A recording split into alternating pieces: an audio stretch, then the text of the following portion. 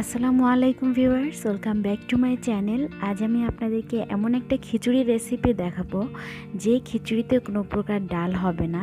আর এই খিচুড়িটি ডাল ছাড়াই এত সুস্বাদু হয় যে আপনারা একবার ট্রাই করে দেখবেন, প্লিজ।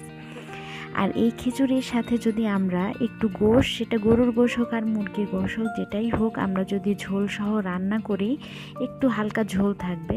তবে এই খিচুড়ির সাথে কিন্তু খুবই অসাধারণ লাগে।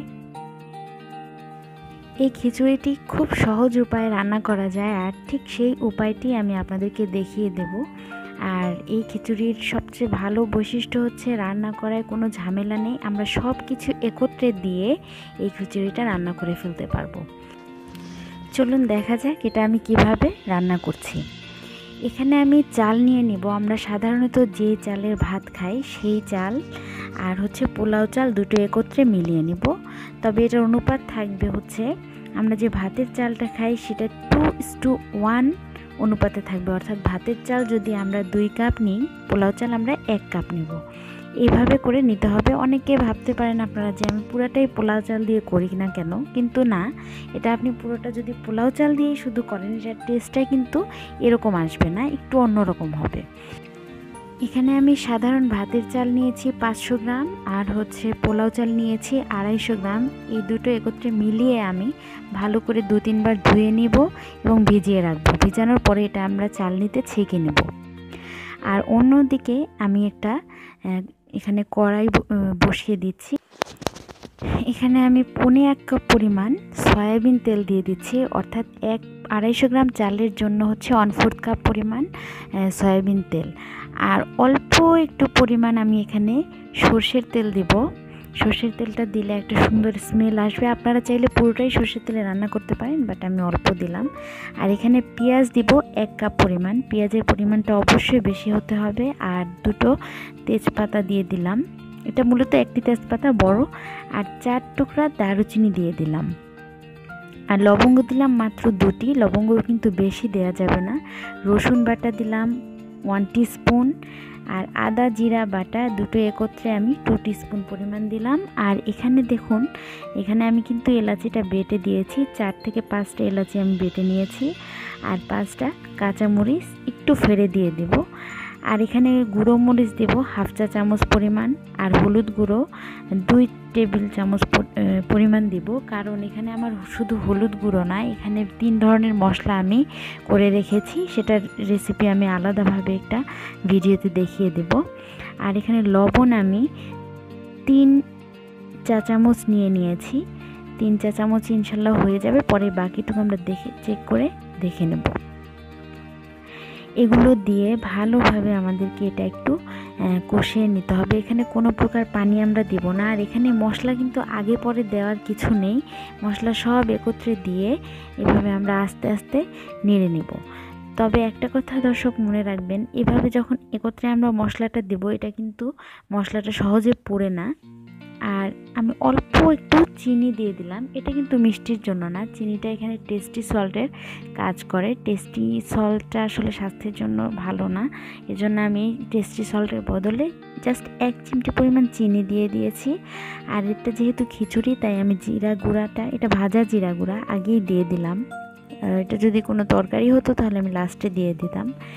জিরা গুঁড়াটা দিয়ে দিলাম। এবার আমি ভালো করে এটাকে নেড়ে নেব।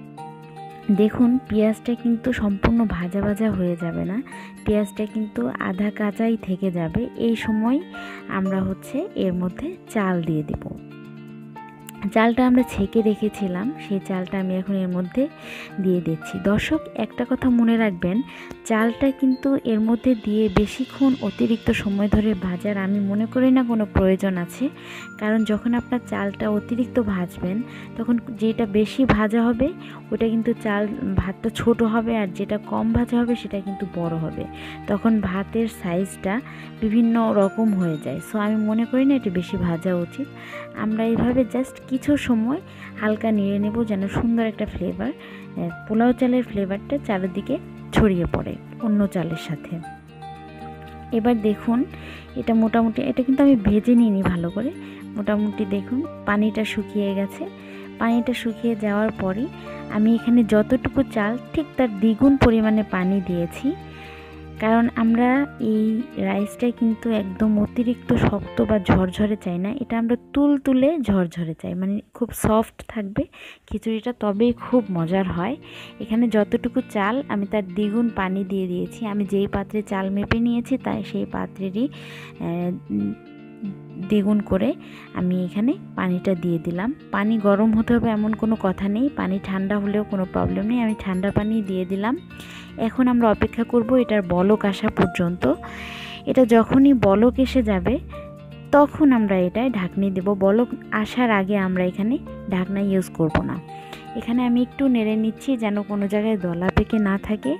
নেড়ে নেওয়ার পরে দেখুন, হলুদটাও আমাদের ঠিক মতো আছে।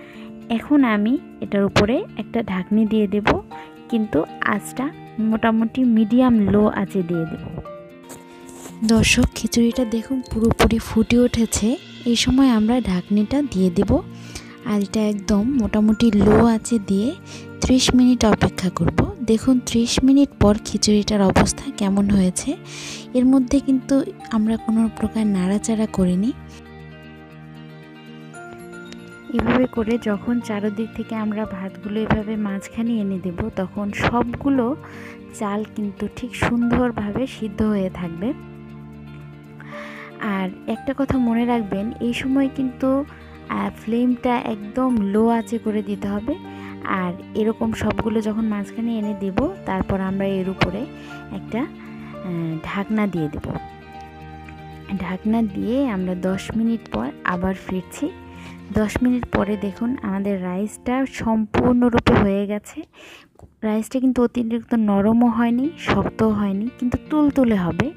দর্শক, এটা কিন্তু পোলাওর মতো একটু মানে ঝড়, বেশি ঝরঝরে না, এটা তার চেয়ে একটু তুলতুলে হবে। আমি একটা বাটিতে দেখুন নিয়ে এটা সার্ভ করলাম।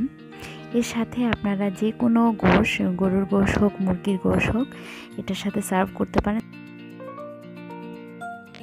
এখানে যে চিকেন রেসিপিটা দেখছেন, এটা আমার চ্যানেলে দেয়া আছে, আপনারা চাইলে দেখে নিতে পারেন।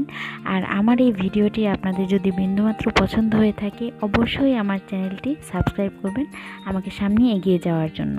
আল্লাহ হাফেজ।